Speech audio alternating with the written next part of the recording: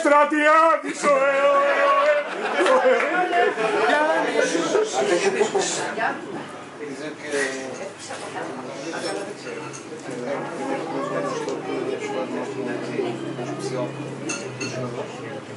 Ε, αισθάνεται πάρα πολύ ωραία να είναι εδώ και να βλέπει τόσο αγάπη για τους παίχτες.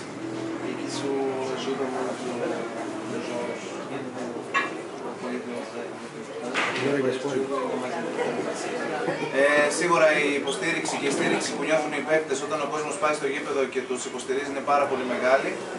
Ε, αυτό το παιχνίδι της Κυριακής χρειάζεται ακόμη μεγαλύτερη στήριξη.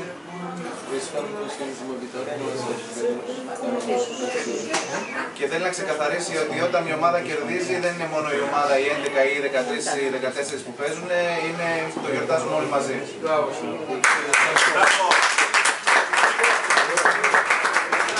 Muito a ganhar este jogo e para conseguir o playoff e tentar ser